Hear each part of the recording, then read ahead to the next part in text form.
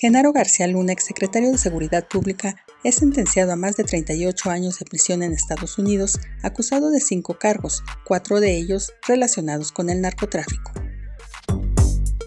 Estados Unidos espera tener una estrecha colaboración con la presidenta Claudia Sheinbaum después de que estableciera que la Cancillería sería la única interlocutora para el embajador estadounidense en México, Ken Salazar, afirma el portavoz del Departamento de Estado, Matthew Miller.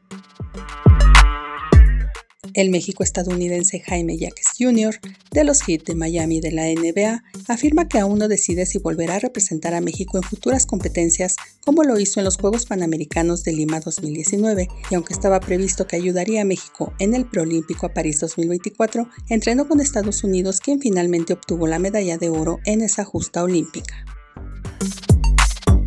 Liam Payne, ex integrante de One Direction, muere al caer del tercer piso de un hotel en Buenos Aires. La Fiscalía Argentina investiga si se trató de un accidente. El cantante de 31 años se encontraba en esa ciudad para asistir al concierto de su ex compañero Niall Horan, Descanse en paz.